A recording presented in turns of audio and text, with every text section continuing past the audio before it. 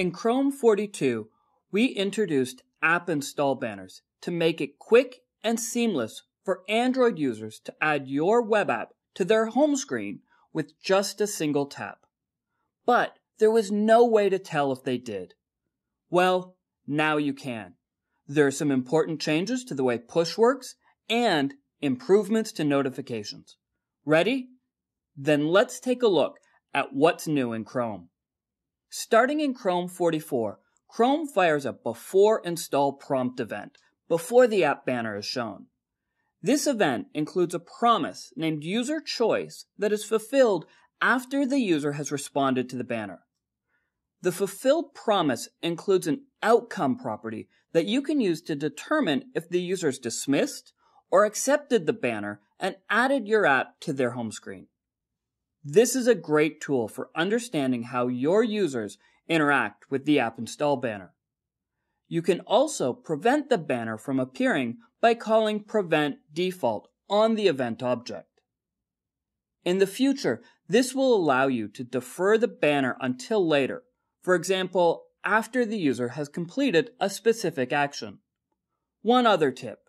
If you set the start URL in your manifest to include a query string like UTM source equals manifest, you can use analytics to track how often people are launching your app from their home screen. If you've been using push notifications, there are a few updates to be aware of.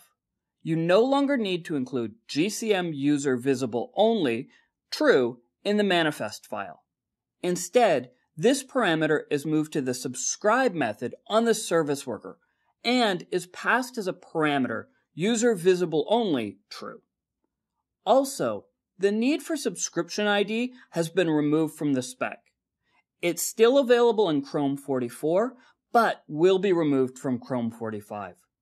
Check out this link for details on how to deal with this until all of your users have upgraded.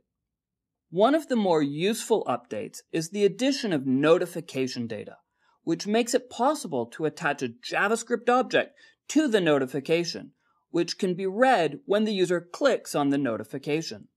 In the past, if you wanted to do this, it was rather ugly. You could either store the data in the icon URL or use something like IndexedDB. Yuck. Now we can simply pull the notification object out of the notification. And poof, I am a little teapot. One of the common requests we've heard is that you want better control over notifications and how they're displayed. For example, rather than showing 23 different notifications, one for each unread chat message, or only showing the last one, you can choose how to handle them, potentially consolidating them into a single message. Get notification returns a promise with an array of the current notifications, allowing you to deal with them programmatically before the user gets annoyed. These are just a few of the new features in Chrome 44 for developers. You can get more details from the links in the description. I'm Pete LePage. Thanks for watching. And don't forget to subscribe to the Google Developers channel because as soon as Chrome 45 is released, I'll be right here to tell you what's new in Chrome.